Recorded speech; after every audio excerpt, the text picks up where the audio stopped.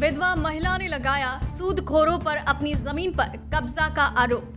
पति की मृत्यु के बाद चार बच्चों को पालन पोषण करने वाली विधवा इस समय सूदखोरों के चुंगल में फंसी है। पीड़िता नेहटोर थाना क्षेत्र के ग्राम जलालपुर, आसरा निवासी पिंकी रानी ने डीएम को शिकायती पत्र देकर दबंग सूदखोरों पर उसकी गैर मौजूदगी में फ़सल जुतवाकर उसकी ज़मीन पर अवैध कब्जा करने का प्रयास करने का आरोप लगाते हुए उसे इस सूदखोर के चुंगल से मुक्त कराए जाने की गुहार लगाई है।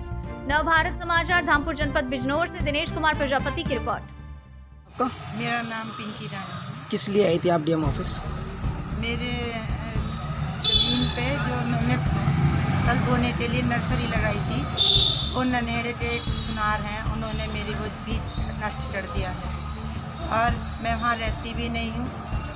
मेरे पीछे ये हादसा करा मेरे खेत का नुकसान कर दिया है जो ताड़ बाड़ थी वो तोड़ दी है। कहाँ का मामला है? ये सादीपुर खनसाल लॉट नेहटौर का।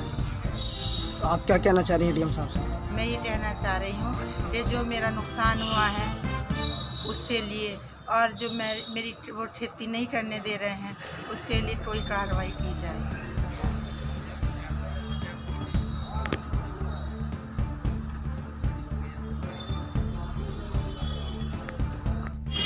जी क्या नाम है आपका? जी कैसा आना हुआ आपके यहाँ डीएम साहब का? नाबालिग चार बच्चे हैं। मेरा छोटा भाई जो एक्सपायर हो गया था। ट्रेन का दुर्घटना हो गई थी चार बच्चे नाबालिग हैं। जी।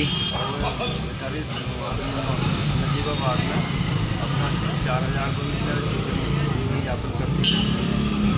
और मतलब जो है सुनार जो महाजन है वो मतलब जो है इनका दबिश दे रहा कि मेरे पैसे लिवाओ मुझसे जो है मुझसे करा करके जी। और वो मुझे जो है लोन दिया था कुछ। उनका कहना है ये। उनका कहना है ये।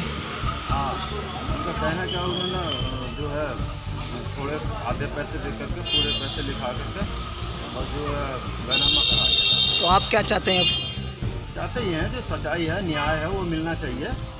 हम तो सच्चाई के साथ हैं जो तो आज- चाहिए कम से कम तो आज आप कहाँ आए हो? आज यहाँ बिजनौर जनपद बिजनौर के श्रीमान जिला अधिकारी के पास आए एप्लीकेशन देने के लिए।